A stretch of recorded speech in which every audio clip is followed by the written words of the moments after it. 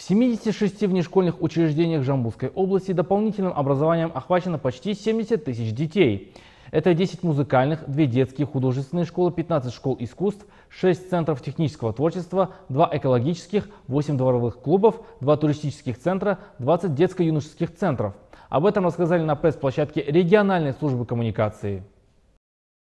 По словам спикера, в 2020 году в Жамбулском районе открылся Центр технического творчества и профессионального образования. В декабре прошлого года своих первых посетителей принял дворец школьников на 600 мест в Шуском районе.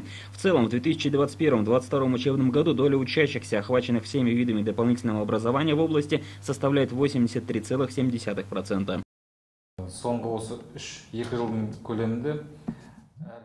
В конце этого месяца будет завершено строительство пристройки к Центру внешкольной работы и детского творчества города Тараза, который получит новое название «Дворец школьников Бакат Болашак».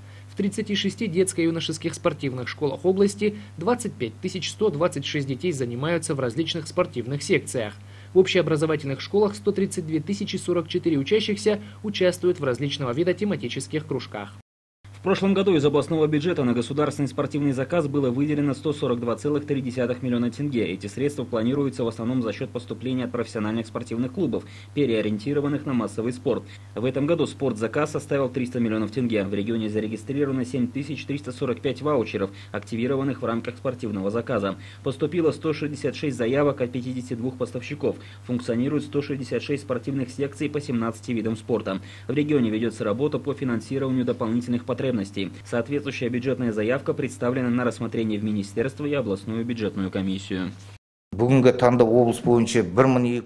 В целях решения проблем, вызванных нехваткой средств, Аким области провел встречу с родителями и поставщиками услуг и дал ряд поручений. В том числе в целях контроля за работой поставщиков услуг государственного спортзаказа было поручено создать мониторинговую группу и в течение двух недель провести исследование.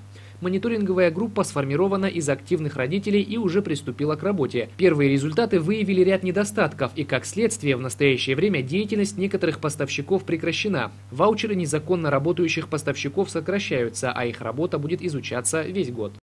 Спикер также отметил, что программа «Артспорт» будет работать и дальше. Средства на эту программу предусматриваются за счет местного бюджета. Однако из-за ограниченного бюджета области эти расходы будут лимитированы и выдача дополнительных ваучеров в настоящее время приостановлена. Ильдар Гзатуллин, Лёга Саржанов, Жамбл Ньюс.